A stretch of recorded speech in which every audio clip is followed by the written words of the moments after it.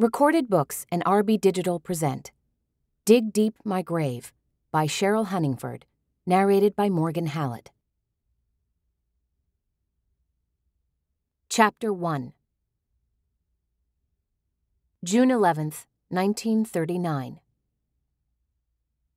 Oakhaven had been a magical place for her once, Vivian thought, as the boat sped toward the wooded shore of Geneva Lake. But that had been long ago. The towering Victorian mansion looked the same as she remembered beautiful, enormous, daunting. She pulled her eyes away, squinting in the bright sunlight glinting off the water. She held her wide brimmed summer hat to her head with one hand and reached out with the other to touch the tops of the waves skimming past. The water was ice cold, and her fingertips tingled as she pulled them toward her again. It may have been a sunny day in June, but the deep water never warmed much in southern Wisconsin, not even when summer was in full swing. She glanced sidelong at Charlie. Nervous? He shook his head, his dark blonde hair blowing back from his forehead. He might deny his nerves, but the way his fingers tightened around the brim of the Panama hat clutched to his chest told the real story. His other hand, resting on her waist, pulled her closer toward him on the padded bench seat. Vivian followed his narrowed gaze, first to the tidy, uniformed driver of the speedboat, then on toward the looming bulk of their destination on the far shore. Of course, Charlie was nervous, she thought. He would meet her extended family for the first time today. Heck, Vivian was nervous, and she'd known them her whole life. She supposed she was nervous because she'd known them her whole life. They were an imposing bunch, and Oakhaven an imposing place. It was her mother's family's summer estate on Geneva Lake, the Newport of the West. Julia Witchell, then Julia Markham, had spent her girlhood summers here among high society, far away from the suffocating air of the city. When Julia's father died, not long after her mother, the ownership of Oakhaven had passed on to Julia's older sister, Adeline, and her husband, as did the Markham meatpacking dynasty. The success of the family meatpacking business is what had made the ownership of a sprawling Victorian summer estate possible. Oakhaven sat on three green acres among the likes of the Wrigleys and the Schwinns, Chicago's upper crust. There were only 31 estates sprinkled around the 20 plus mile shoreline of the lake. It was a privileged life, and the family did not take their standing here lightly.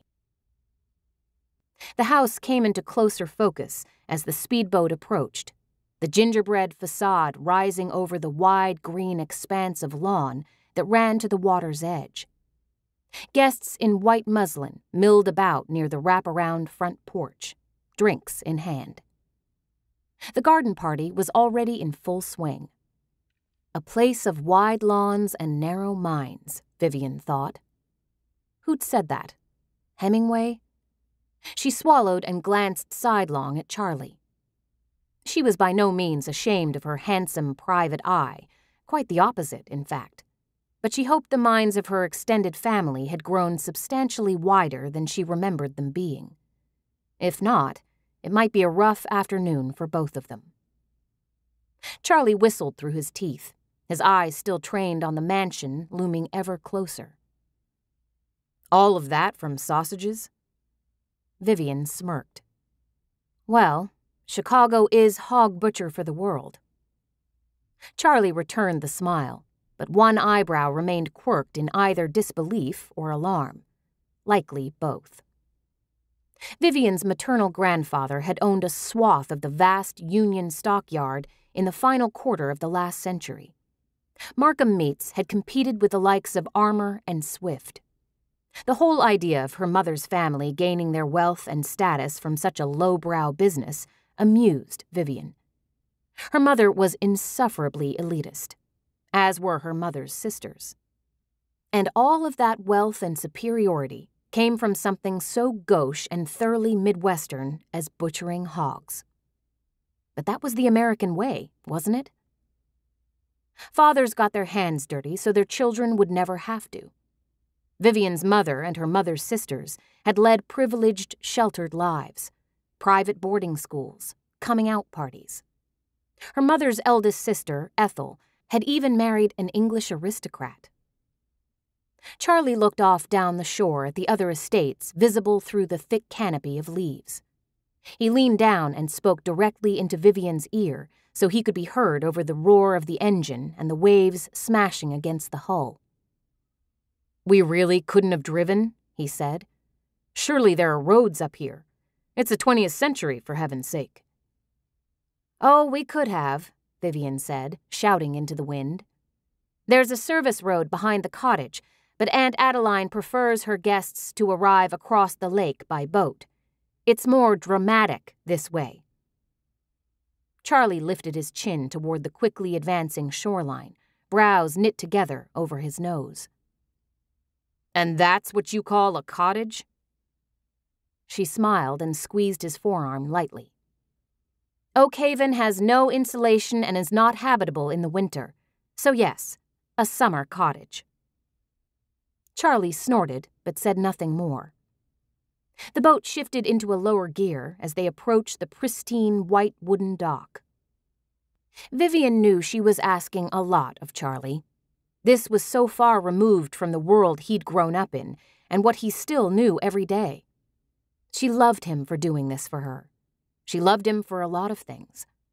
She wrapped both arms around his middle and squeezed. Oof, what's that for? He asked. For being such a good sport.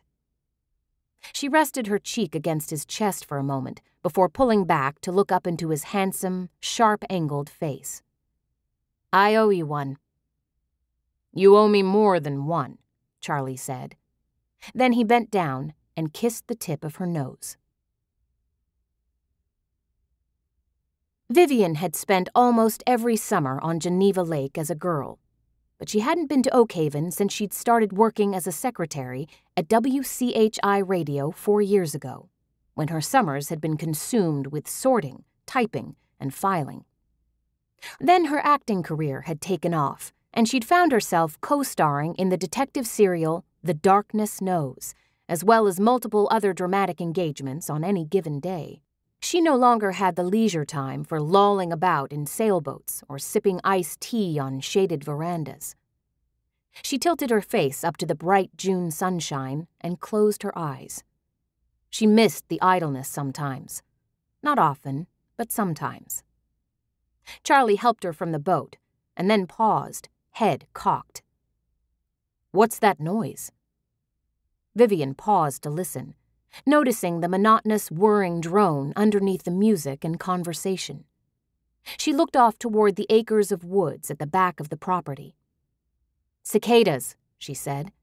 The 17 year kind. I read something about their return in the paper this morning. You've never heard them? Charlie shook his head. Don't get many cicadas in the city, I guess. Disgustingly fascinating little creatures, she said thinking of how she'd pick the cicada's empty shells from the trees and drop them in her cousin David's hair. She'd been eight at the time.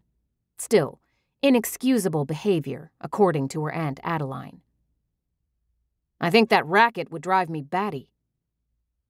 Well, welcome to the country, Mr. Haverman, Vivian said, smiling up at him. This was supposed to have been an intimate family gathering, but there were at least a hundred people milling about the lawn, and Vivian recognized almost no one. She was the sole representative of the Witchell branch of the family today, as her mother was in Washington, D.C. with her companion, Oscar. It had been half a year since Oscar had entered their lives, and Vivian still had trouble defining his relationship with Julia. Companion was as good a word as any, she thought. Despite Vivian's initial misgivings, Oscar had been all sorts of good for her mother. Julia Witchell had, dare Vivian even think it, loosened up in the past six months. She smiled at regular intervals now. She laughed. Vivian hadn't seen her mother this happy in years. Vivian's younger brother, Everett, would agree, but he couldn't be here today either. He was studying for his sophomore year finals at Northwestern. Vivian looked up at Charlie. She could tell nothing of his feelings from his stony exterior. Perhaps it wasn't fair to throw him into the lion's den like this, she thought. But their relationship was serious. Charlie was in her life for good, or so she hoped, and she wanted her family to know him. She snaked one arm around his waist.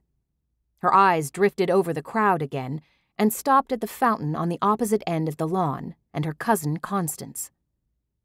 Ah, she said. Let's make the introductions to the heirs of the Markham meatpacking dynasty, shall we?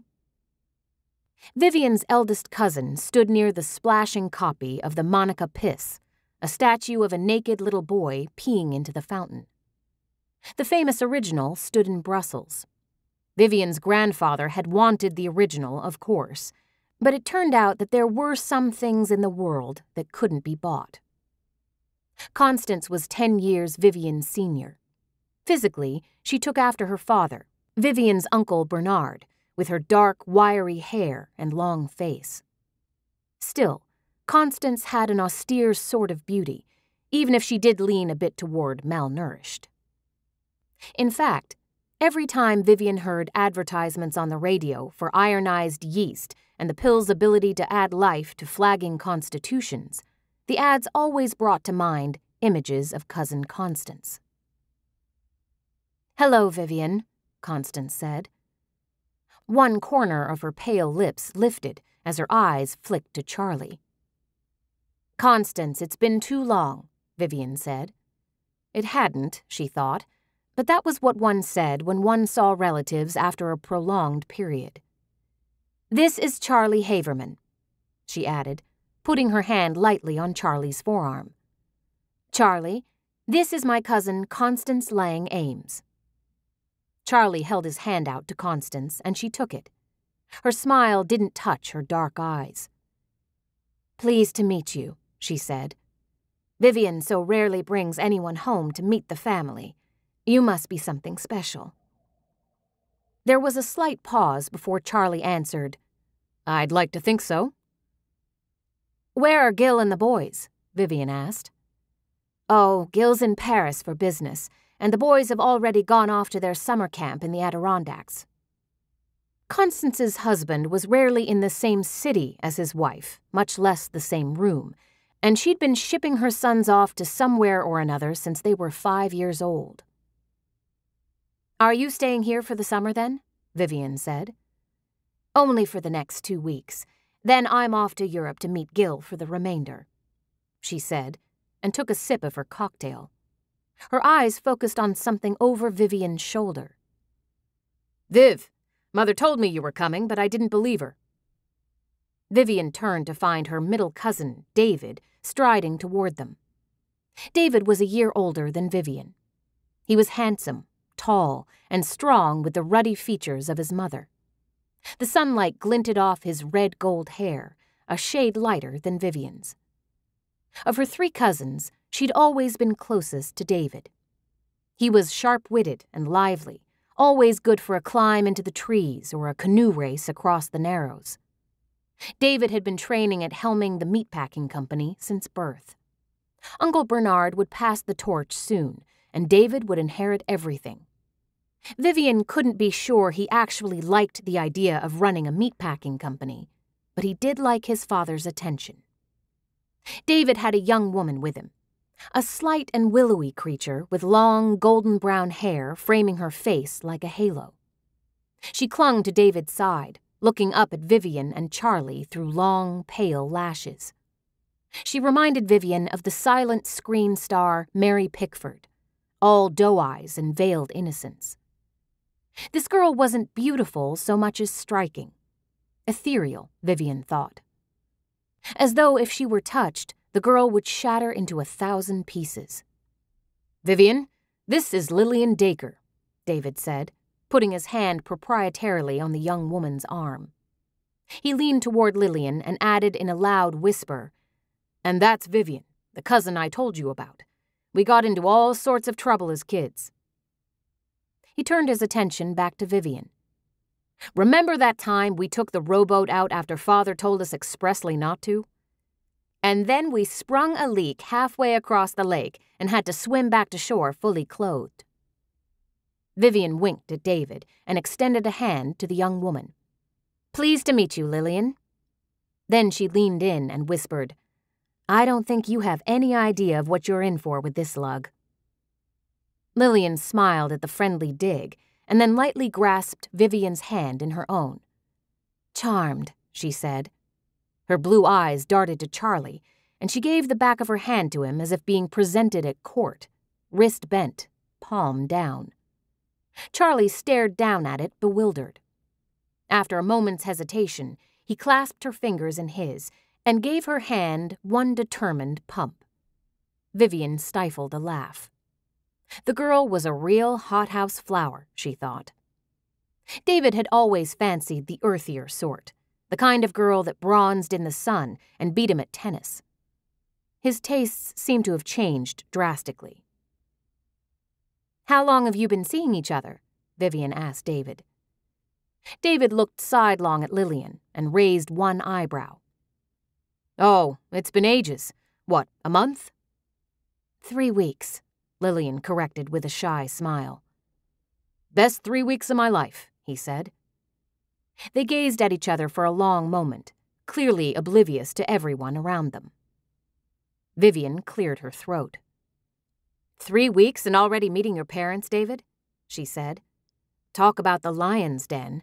David was pushing this poor girl in head first. In response, David grabbed Lillian's left hand and held it out to Vivian. A large, round diamond winked at her in the sun from Lillian's ring finger. Vivian gasped. She glanced from David to Lillian and back again. Well, I guess congratulations are in order then.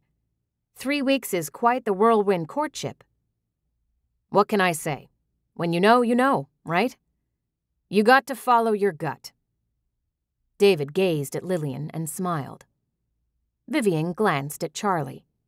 They locked eyes for a brief moment before she turned her attention to the happy couple again with a broad smile. Congratulations, Charlie said, holding out his hand to David for a shake. To both of you. Where did you meet? Vivian asked. Funny thing, that. I'd gone to a party. Garner Hayward, you know him? Well, I went to his party, dreadfully boring, and then I heard this angelic voice speaking to a waiter in French. I turned, and there she was. I couldn't take my eyes off her. I haven't taken my eyes off her since. Stop, David. You're embarrassing me, Lillian murmured in the tone of voice that meant, No, go on, I love it. He patted her hand on his arm and turned back to Vivian. Enough about me and all my blissful happiness. How's the radio biz? Wonderful, she said. And it was. Things were going well in her career indeed. The Darkness Knows was at the top of the Crossley ratings in its time slot, Thursdays at 8 o'clock. She and her co star, Graham Yarborough, had just appeared in a nationwide magazine campaign for the show's sponsor, Sultan's Gold Cigarettes. In fact, they'd just completed a photo shoot that might be the cover of the next Radio Stars magazine. I hear you might be moving on up to the pictures, David said. You'll be co starring with Clark Gable soon. Vivian smiled. We'll see. I'm heading out to Hollywood tomorrow for a number of things, but a screen test with MGM is one of them. The studio was thinking of making a movie from The Darkness Knows. The sponsor, Sultan's Gold Cigarettes, was so happy with the show's two leads that they were heavily lobbying MGM to transfer them both to the big screen version. It was a huge opportunity. A screen test, gosh! Vivian's youngest cousin, Gwen, stepped forward, eyes wide. She stood gaping at Vivian. Gwen was eight years younger than Vivian and had been sort of a mascot for her, the kid sister she never had. Gwen had always followed her around like a puppy, and Vivian welcomed the unrestricted love and adoration. It was hard to come by. Despite all of that, Vivian felt a twinge of guilt. She hadn't seen Gwen in at least two years. Vivian held Gwen's arms out to her sides and gave her an appreciative once over. She was lovely. big brown eyes and chestnut hair, with a hint of early summer bronze to her skin. Just look at you. Gone and become a young lady on me. Gwen flushed. Caught between child and woman, Vivian thought. She must be what, seventeen? Seventeen, Vivian thought, her stomach flipping involuntarily at the long buried memories. What a pill Vivian had been at that age. She narrowed her eyes at the girl. Was Gwen half as much trouble as she had been? She watched Gwen's dark eyes shift toward Charlie and widen with interest, saw her long, painted eyelashes flutter. Perhaps she is, she thought. Oh, I'm sorry, Vivian said. Charlie Haverman, this is the baby of the family, Gwendolyn. Gwen held out her hand. You can call me Gwen, and I'm no baby. I can see that, Charlie said. He flashed a devastatingly charming smile at her as he took her hand. Two spots of color appeared on the apples of Gwen's cheeks. I was just trying to rustle up a game of croquet, Gwen said. Any takers? I'll play, David said. Viv? I'm not sure we should. As I recall, the last game of croquet I played with you became so heated that we almost came to blows, Vivian said. We never. Prone to fisticuffs in his younger days, this one. Someone's never quite gotten the hang of losing, she whispered to Charlie, loud enough for David to overhear. David rolled his eyes toward the blue sky. How about you? Gwen asked Charlie. Will you join us? Charlie looked down at Vivian. How about a drink? he said. Doubtless he'd never been anywhere near a croquet mallet and was not about to start now.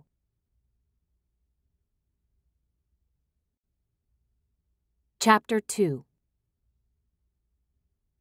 Vivian's mallet met the ball with a satisfying thwack, and she watched as the ball sailed through the wicket.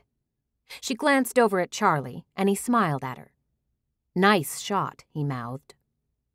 Charlie must have run into Uncle Bernard at the bar, because now he stood among a circle of middle aged, balding men on the periphery of the croquet field. Uncle Bernard was in the middle of some sort of diatribe, and he jabbed his finger in the air perilously close to Charlie's nose as he spoke. To his credit, Charlie didn't flinch. Those lovely blue green eyes of his remained on Vivian, and she saw the sardonic smile flicker at the corner of his mouth.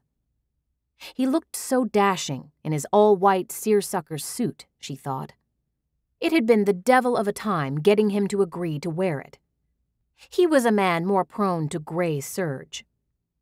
But she'd convinced him that it was just for the afternoon, and she'd promised that no one of his regular acquaintance would lay eyes on him. In fact, Vivian thought he was the most beautiful thing on this lawn, females included. So beautiful that she was considering tossing her croquet mallet aside and laying more than her eyes on him. Charlie winked at her as if he could read her lecherous thoughts before his eyes shifted back to Bernard. Uncle Bernard was known for his strong opinions about anything and everything. But he was especially fond of railing on about how he felt Roosevelt was mucking everything up for the upper classes with what Bernard called his New Deal rigmarole. Gwen came to stand beside Vivian. She twirled her croquet mallet in her hands. I'm so very proud of you, Vivian, she said. A radio star. Thank you. I meant what I said before. You've grown into a lovely young woman, Gwen. Gwen smiled her thanks. I'm sorry I haven't been in touch, Vivian said. She did feel terrible about leaving Gwen in the lurch like that. Vivian remembered very well what it had been like to be Gwen's age. She'd had so many questions, and no one she trusted to give her advice without judgment. Vivian's mother would never have understood, just as Vivian was sure Gwen's mother wouldn't. They were products of another time. Gwen shrugged. You've been busy, she said. There wasn't any resentment evident in her voice. How long have you been seeing Mr. Haverman? Vivian saw Gwen's eyes shoot toward Charlie and light with appreciation. About six months, I suppose. Is it serious? Vivian smiled. Why else would I subject him to all of this? Gwen smiled in return. Then she stopped spinning her mallet and leaned toward Vivian. I have a surprise for you, she said. I'm not sure it's appropriate anymore, but. You're shocked, Gwen, David called. Gwen glanced at her older brother and then back at Vivian. Gwen had always been dramatic. No telling what her surprise might be, but odds were it wasn't terribly important to know right now. Go ahead, Vivian said. We'll catch up later. She looked over at Charlie again. All in all, he was doing quite well so far. And her relatives were behaving. Not as she feared they would, like Vivian had brought them one of the hoi polloi for their amusement. Vivian hadn't seen any of her mother's family since the truth had come out about her father. Julia Witchell had known something of what her husband had been up to, as Vivian had suspected. Oh, not the details, not that he'd plotted to have men killed, but she'd known he'd trucked with unsavory characters. She'd known all along. Julia had also known that the copious amounts of money he had made from his association with those unsavory characters had, in large part, bought her that grand house on the Gold Coast. But Julia had played the dutiful society wife and hadn't asked any questions. Mostly, Vivian suspected, because her mother hadn't wanted to know the answers. Vivian looked around at the members of her mother's extended family. Certainly, they had all known what Arthur Witchell had been, and they'd all kept quiet. David won the match and raised his fist in the air in triumph. Vivian conceded his victory and laid her mallet against one of the wickets. She approached Charlie and the small cluster of older men. War within the year, her uncle said, nodding his head vigorously. There's no stopping Hitler. He's said he wants Poland and he'll take it. Vivian saw Charlie grimace, but he didn't disagree. There was no point. What her uncle had said was true. War loomed on the horizon. The question wasn't if America would get involved, but when.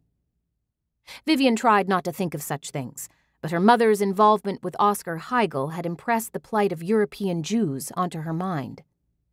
She noticed the tiny articles on the sixth and seventh pages of the newspaper, hidden among the lesser news.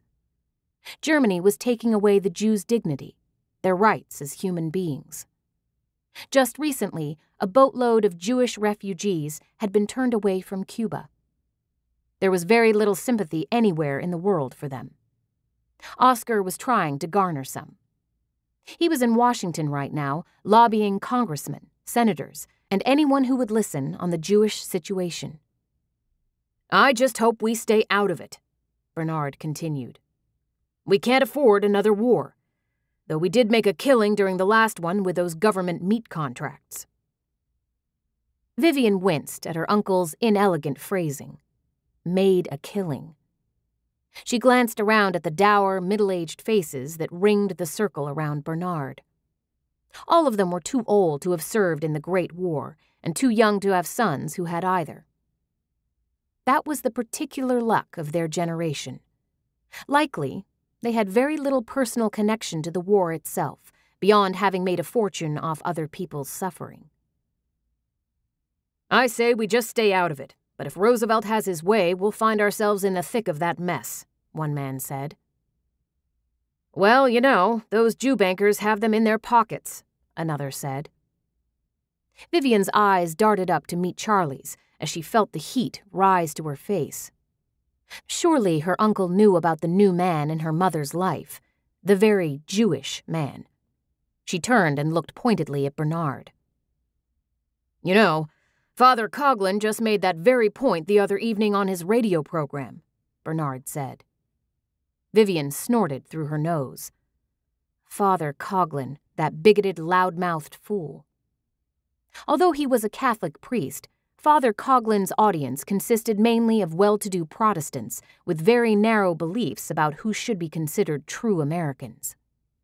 The men turned to look at her, and for a moment she was terrified that she'd actually spoken aloud. But their expressions were merely curious, not outraged. Ah, uh, something in my throat, she said. I think I'll find the punch bowl. Charlie made a move to come with her, but he was stopped by Bernard's large hand on his forearm. Now don't run off so quickly, young man. I'd like to hear about this private eye business. Vivian shot Charlie an apologetic look. He shrugged, resigned, and quickly brought his hand to his temple, cocked in the shape of a gun. Save yourself, he mouthed. So she did. Vivian whirled on her heel and headed in the opposite direction. Her uncle was a blowhard of the first variety. She'd like to believe he meant well, but she couldn't think of one instance where he had done something from the goodness of his heart. He was all about money and power and image. Besides, she couldn't abide war talk. This was a garden party. You shouldn't talk about invading countries and killing people at a garden party, no matter how pressing the idea. She decided to clear her head with a walk in the forest. Adeline and Bernard owned three acres of wooded land behind Oakhaven, in addition to the lake frontage. Most of it was wild and overgrown, but there was a nice path through the first half acre. Or at least there used to be. Vivian had walked it all the time as a girl, pretending she was an explorer in the virgin forest. She'd imagined the Potawatomi Indians living here long ago off the land, gazing at the calm blue waters of the lake. Vivian headed in, the thick mat of damp leaves squishing underfoot. The sounds of the party hushed as she entered the forest proper, drowned out by the tuneless drone of the cicadas. That drone became a whirring screech here among the trees. A clamoring mass of the crawling creatures clumped on the tree nearest to her, single minded in their effort to mate and die. They molted when they emerged from the earth, and empty brown shells littered the ground and stuck to the tree trunks all around her. She pulled an empty shell from a tree trunk and drew it close to her nose for inspection. It was a perfect replica of the creature itself. Even its feelers were molded in the brown, shellac like shell. The air itself was stagnant and thick. It had been a wet spring, and she could smell the fungus and the squishy things growing just under the fallen oaks. Suddenly, there was movement, a rustling of leaves as someone stepped from the clump of wild raspberry bushes to the left of the path in front of her a very large someone. The man stood in the middle of the path, blocking her way forward. His face was in shadow. Vivian could still hear the sounds of the party behind her underneath the cicadas. Life and safety were just beyond the trees. That gave her small comfort. Still, she was uneasy at the looming bulk of this man and his sudden appearance.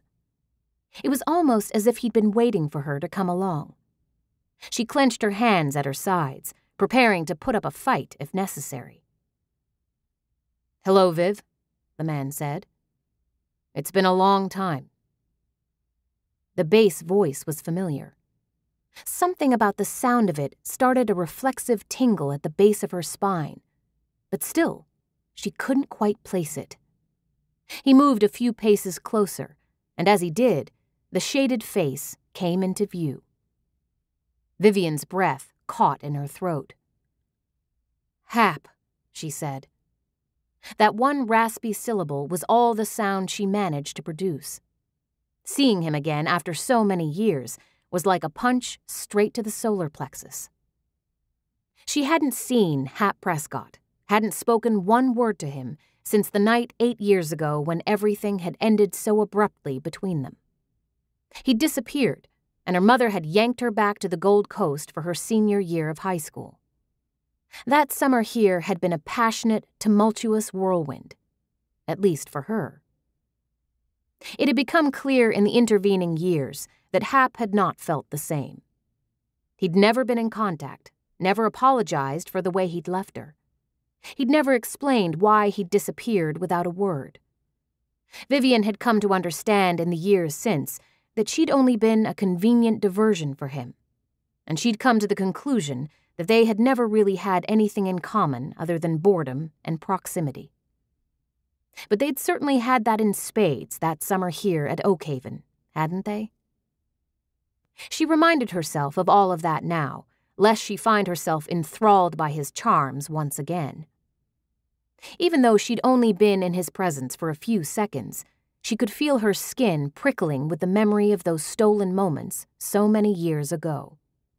He'd made her feel so alive, so grown up. She'd attached such hopes to him. She'd been so hopelessly naive. What was he doing here? Vivian scrutinized his face, hoping to find it irrevocably altered by the passage of time. But Hap Prescott was as handsome as ever. He was older, of course. Little wrinkles played about the corners of his eyes, as if he smiled too much or spent too much time in the sun. Though he must be just shy of forty by now, there was no gray in his shining, mink colored hair. His eyes were still the same crisp, disarming green of fresh grass. He smiled at her now with warmth and presumption, as if he'd seen her just yesterday.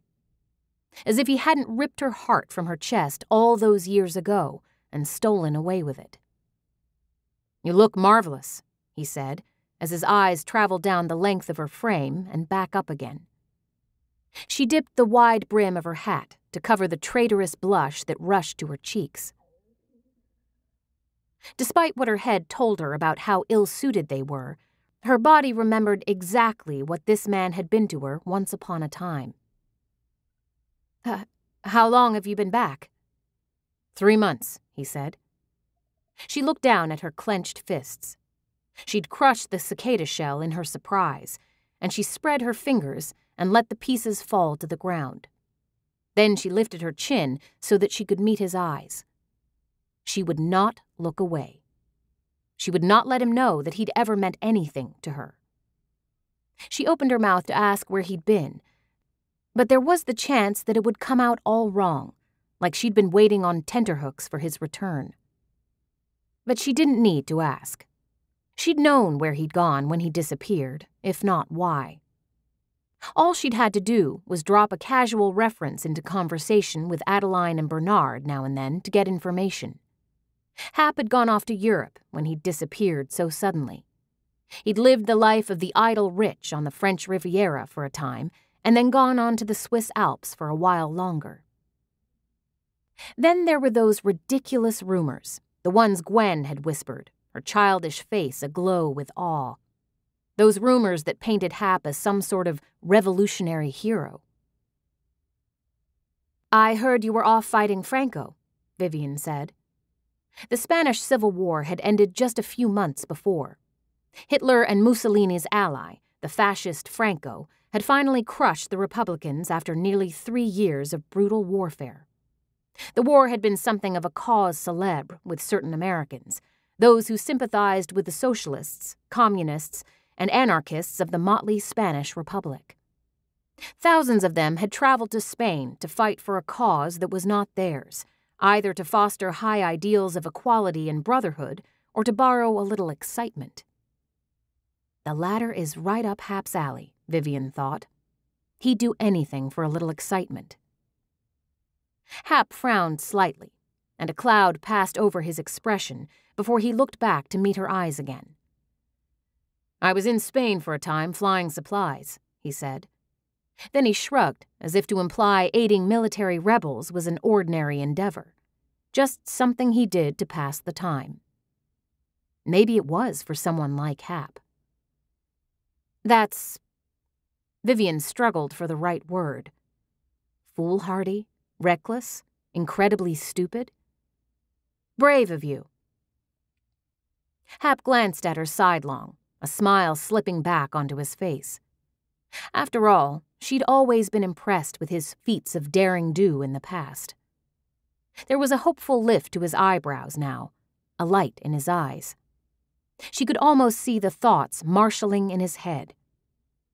They could go back to the way it had been between them that summer eight years ago, as if nothing had happened. He wanted that. He wanted her. Renewing what they'd had would be like slipping into a warm bath. Except that Vivian wasn't that girl anymore. She'd matured, moved on. And despite that echo of long dormant passion, she could never forget how he treated her at the end. And besides, there was Charlie now. Charlie was good. Charlie was honorable. Charlie was who she wanted. Hap moved closer to her, so close she could feel the heat of his skin against hers. And while I've been gone, you've been making something of yourself, eh? Next stop Hollywood? he said. She only nodded. Her throat felt like it was coated in dust. He whistled with admiration. I always knew you'd do something big, Viv. You always had that extra something special. He ran his fingertips lightly up her forearm, raising gooseflesh in their wake. Then he leaned down toward her, his lips brushing her temple as he spoke. You know, I still think about you, about us, how good we were together. Vivian stepped backward and pulled her arm from his grasp. I'm with someone, she said. His rakish smile remained, though his eyebrows drew together in incredulity. That dime novel detective? His head cocked to the side as he studied her. So Hap had been keeping tabs on her as well, she thought. He hooked two fingers under her chin and lifted it. Vivian forced herself to meet his gaze, if only to prove that she could do it and not falter. She saw lust in Hap's green eyes, lust and calculation, and a certain knowing calm behind it all. He thought he could snap his fingers and she would melt into a puddle at his feet. The Hap of her memories had been suave, dazzlingly charming, and full of amusement. But there was a hardness to him now. The smile on his lips did not reach his eyes. This Hap was only wearing those qualities like a mask. Perhaps it was what he had seen in Europe, in Spain with the rebels, she thought. Perhaps it was that he realized he was very near forty with nothing to show for his life thus far. His once effortless charm had twisted and become a sharp thing. Or perhaps she'd imagined all of it to begin with. I know we parted on bad terms, and I regret that. I'd like a chance to try to explain. I think you'd like that too. His voice was low. He leaned down toward her then, lips parted, and Vivian sidestepped him with a jerk of her head. I have to go, she said. She turned and started toward the house without waiting for his reply, the leaves squishing under her heel, the whir of the cicadas in her ears. Hap didn't follow. He didn't call after her, knowing, of course, like she did, that he'd have another chance to win her over. No doubt he thought he would. He thought Vivian was still that confused, angry, rebellious girl who had been putty in his hands that summer. He thought he would always get what he wanted. Well, he's wrong, she thought. He's wrong.